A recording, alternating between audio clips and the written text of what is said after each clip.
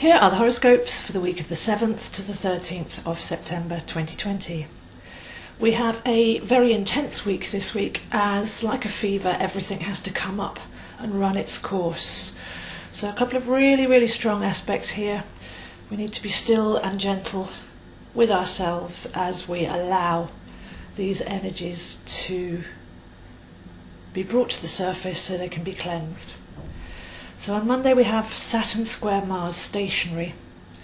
So just to go back on that slightly, Mars is stationary at the moment, which means it's between turning from direct to retrograde. Mars will turn retrograde on Wednesday, Thursday, and when a planet is stationary on that tipping point, changing directions as it were, metaphorically, then we can feel a certain intensity, especially with Mars because it's our passion. So this week we are going to feel some of that passion and whether it is or isn't in alignment. And Saturn wants us to strip back to the core and claim our integrity. So anything that's out of alignment will be shown to us between now and the 13th, 14th of November. But first of all, we can step back to the end of June. So from the end of June till this week, things have come up into our awareness regarding where we're putting our passion and our vital life force energy. If that's coming from the old paradigm, which is fight, flight, survival, fear, lack, and limitation, and we were trying to bring things back into place, for example, how we were living in January and then coming out of the slowdown, trying to recreate those same structures, then we'll have met blocks and frustrations along the way. And this is very necessary because we're not supposed to just rush out and get busy again and restructure our lives how they were from the same mental paradigm. This whole slowdown has been to take us in to find our centre and to really find what we care about and our values. So 2020 continues to deliver its massive, life changing stories. But this week we can look back to how we've been living in July and August, where we've been trying to place our energy, and whether that's actually coming from the right place, or whether we're still in the matrix, as it were, the survival, the rat race. So Saturn square Mars stationary on Monday, asking us to be really integral. What do we actually believe in? Where do we want to put our energy? And to examine frustration, to realign our will with divine cosmic order, but allow any frustrations and angers to come up very cathartic, very cleansing. And we do have to, like I say, let the fever run its course. So Mars is directed masculine will, and that can often come from the head. So check what you're thinking, check what you're trying to force, to control, where you're trying to have your will from the smaller person. See if you can step back and align with the will of the soul, which will be found in the heart. This energy permeates into Tuesday where we can rest and reset. So the old you is no more, and the new you is emerging, sovereign and bright.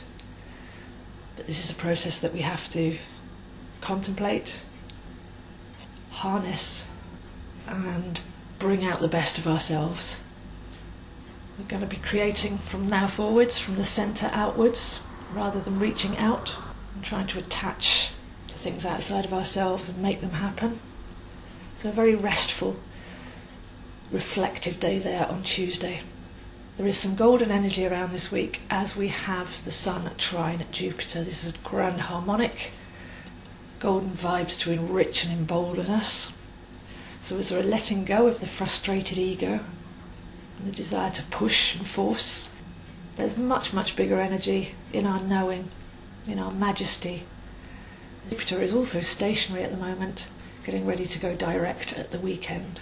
So our real power is found deep inside, and connecting with that and amplifying from that space is how we manifest going forwards. So that's Mars retrograde coming up and Jupiter direct coming up, both working with us to light our spark and amplify our true essence. So, like I say, by Thursday it is Mars retrograde. That energy is going to be with us until the middle of November. So it's a retrospective. We can look back and see, well, what were the effects of our actions and thoughts? Where did we get ourselves into a negative space? What were the beliefs behind it? That could be lack. I must work to earn money to survive. That could be in the month of Virgo. I must work hard. I must be productive. Doing more equals gaining more. Beliefs like that are instilled in us from our families and from our family histories and by society as a whole, keeping us anxious and disconnected.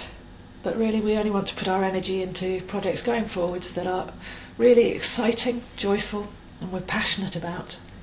If we want to escape the matrix of servitude and really get back to our power. So by Thursday, re examine your core beliefs, what they've led to in the past, and then reconnect to your core passions and incubate that feeling as we harness our sovereign power to manifest better, best even. By Friday, we have the Sun opposition Neptune. So once a year, the Sun and Neptune come into an opposite alignment, which is the equivalent of a full moon, if you like, Sun opposite moon. The Sun shines its cleansing light of conscious awareness into the nebulous spaces of Neptune the subconscious. So we plunge deep into our subconscious waters to see what's still lurking in the dark places.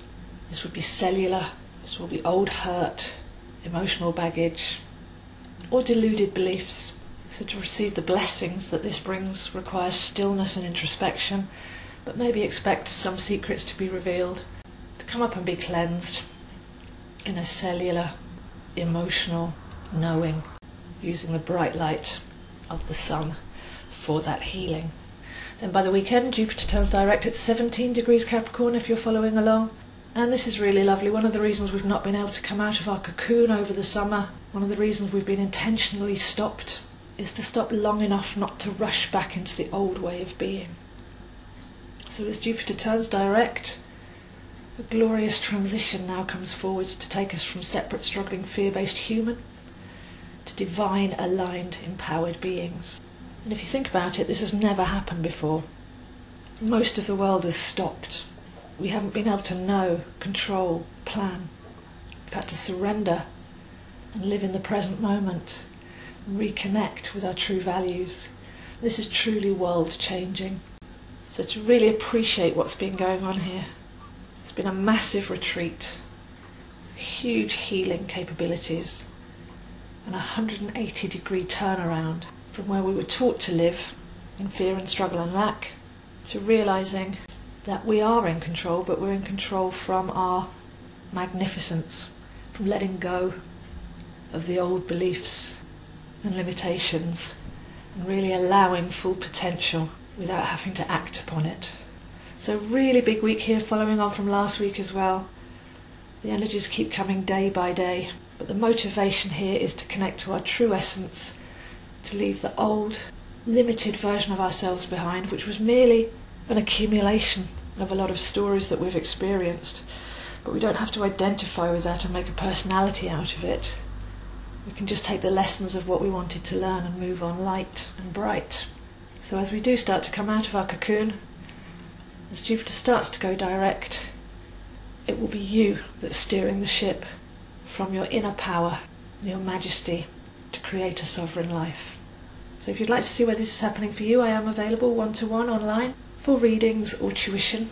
And as we go into the autumn, this is a great time to get to know your chart, to reconnect with all of those inner archetypes, like a soul retrieval, so that you can step into your wholeness. So please do contact me, Zoe zoehind7 at gmail.com.